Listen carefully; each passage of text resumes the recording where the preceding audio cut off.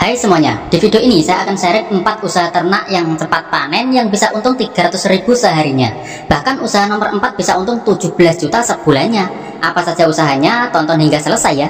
Yang namanya bisnis harus cepat balik modal.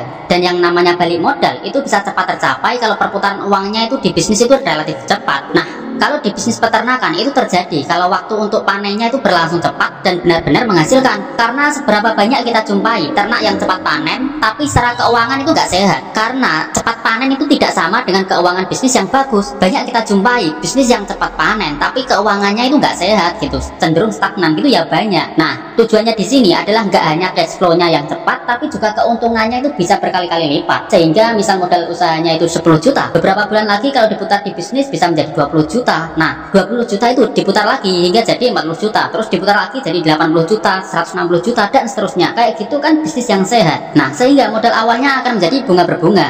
Modal awal terus menggulung sehingga semakin banyak. Modalnya diputar jadi berapa terus hasilnya itu dimasukin ke modal lagi biar hasilnya itu semakin menggunung lagi gitu. Sesederhana itu meskipun prakteknya pasti nggak sederhana. Nah makanya itu di video ini saya akan share 4 usaha ternak yang cepat panen dengan keuntungan 300 ribu seharinya. Jadi nggak cuma panen aja tapi penghasilannya berapa itu ada nominal nominal yang kita kejar gitu. Nah mari kita mulai. Usaha ternak yang pertama adalah dengan usaha burung kicau. Bisnis burung kicau memang menawarkan keuntungan yang sangat besar. Saya sendiri juga sempat terkejut kok dengan besarnya keuntungan yang bisa dihasilkan dari bisnis ini. Dengan berbisnis burung kicau dapat penghasilan puluhan juta sebulannya bukanlah mustahil kok untuk didapatkan. Misalnya aja ini nih berawal dari hobi lomba burung kini bisa jualan burung kicau dengan beromset 60 juta sebulannya. Dia adalah Arun yang mengaku menjual burung yang bermacam-macam mulai dari cucak hijau hingga jalak suren kisaran harga burung yang Arun jual juga terjangkau. Mulai dari 550.000 hingga 1,6 juta itu per ekornya. Namun itu untuk burung bahan ya alias burung yang belum dilatih. Sementara itu untuk burung yang sudah terbentuk atau sudah terlatih itu bisa dihargai jutaan bahkan hingga 5 juta gitu. Luar biasa banget kan? Sekarang kios burung arun sudah berjalan kurang lebih 2 tahun. Omset kotornya itu telah menyentuh 50 juta hingga 60 juta itu per bulannya. Arun juga mengungkapkan kalau profit bersihnya itu 30 hingga 40 juta itu per bulannya. Mantap banget kan? Usaha burung kicau arun ini bisa dijadikan inspirasi buat teman-teman. Kalau usaha burung kicau itu bisa menjadi mata pencarian yang terbilang menjanjikan. Selama masih banyak komunitas kicau mania, bisnis tersebut tampaknya tidak akan pernah padam kok. Nah, selanjutnya usaha ternak yang cepat panen yang kedua adalah usaha ikan belut. Nah ini menarik, budidaya belut kini mulai banyak diminati. Hal ini tentu tak lepas dari tingginya permintaan, baik untuk pasar dalam negeri maupun pasar luar negeri atau ekspor. Karena banyak peminatnya inilah, peluang usaha ikan belut itu sangatlah besar dengan pangsa pasarnya yang semakin banyak. Ada beberapa alasan yang membuat banyak orang yang berminat untuk melakukan usaha ternak belut ini. Beberapa di antaranya adalah pemeliharaan yang mudah,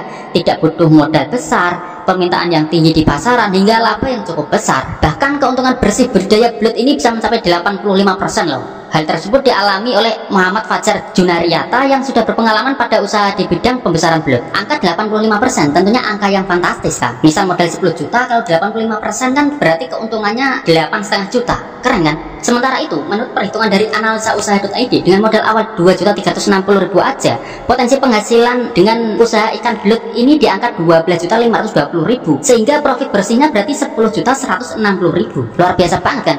Dan tentunya keuntungan ini bisa teman-teman dapatkan kalau ulet gigi dan pintar melakukan promosi. Karena marketing atau promosi itu merupakan ujung tombak penjualan.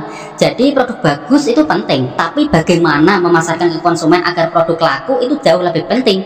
Apalagi sekarang kan zamannya sosial media ya. Jadi teman-teman nggak hanya memasarkan secara konvensional aja tapi juga secara online juga bisa sehingga penjualannya itu bisa lebih maksimal lagi. Nah selanjutnya usaha ternak yang ketiga adalah dengan usaha bebek petelur. Usaha bebek petelur bisa menjadi peluang yang menguntungkan karena ternak bebek petelur memiliki banyak keuntungan dalam segi bisnis Selain permintaan daging bebek yang cukup tinggi, telur bebek juga menjadi komoditas peternak bebek yang menjanjikan. Peternak bebek juga mempunyai kelebihan jika dibandingkan dengan misal ternak ayam, karena bebek memiliki daya tahan tubuh yang lebih baik. Selain itu, cara pemeliharaan atau cara beternak bebek juga cukup mudah untuk dilakukan gitu. Dan keunggulan lainnya adalah bebek juga merupakan salah satu jenis unggas yang semua bagiannya itu bisa digunakan. Mulai dari telur, daging, hingga bulu bebek, semuanya itu memiliki harga jual yang lumayan.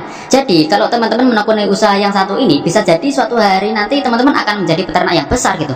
Makanya banyak yang berhasil di bidang ternak bebek petelur karena memang potensinya itu sangat menggiurkan misalnya aja ini nih kisah sukses peternak bebek petelur dari nol hingga meraup omset ratusan juta itu di setiap bulannya. Nah dia adalah Muhammad Rasul seorang peternak bebek petelur di bilangan Sleman Yogyakarta yang berkali-kali mengalami jatuh bangunnya merintis usaha ternak bebek petelur yang dialaminya itu dua tahun yang lalu ketika ia mulai usaha. Namun sekarang ceritanya udah berbeda Sekarang Muhammad Rasul mampu mensuplai 55.000 butir telur bebek setiap minggunya. Luar biasa banget kan? Dengan 55.000 butir telur bebek dalam satu minggu atau katakanlah ya 200 hingga 400 ribu lah butir telur dalam satu bulan, maka omset yang bisa diperoleh Rasul dalam satu bulan itu bisa mencapai ratusan juta rupiah di setiap bulannya. Keren kan? Jadi bisa nih kamu eksperimen untuk terjun di usaha ternak bebek petelur karena peluangnya itu besar dan permintaannya itu sangat banyak sehingga potensinya itu yang menjanjikan gitu. Nah selanjutnya usaha ternak yang cepat panen yang keempat adalah ternak kroto. Kalau teman-teman pecinta burung pasti sudah tidak asing lagi dengan kroto atau semut rang-rang karena kroto merupakan makanan burung kicau. Kroto atau yang lebih dikenal dengan semut rang-rang belakangan ini semakin banyak dicari. Hal ini karena para pecinta burung kicau semakin banyak di Indonesia dan membutuhkan kroto sebagai pakan burung kicau mereka. Bahkan ada seorang yang bisa dapetin penghasilan tuh di angka 25 juta sebulan loh dari telur semut rang-rang atau kroto. Dia adalah Maria Ulfa, warga asal Yogyakarta. Di saat orang lain mengeluh terhadap keberadaan semut rang-rang atau semut merah yang menyerang tanamannya, Maria Ulfa yang akrab dipanggil Ulfa justru menikmati rezeki dari hewan kecil ini atau yang sering ia sebut si merah. Awalnya Ulfa mengikuti pelatihan budidaya kroto dalam media toples di Yogyakarta selama satu bulan dengan empat kali pertemuan. Ulfa mengeluarkan uang 3 juta waktu itu, satu juta untuk biaya pelatihan dan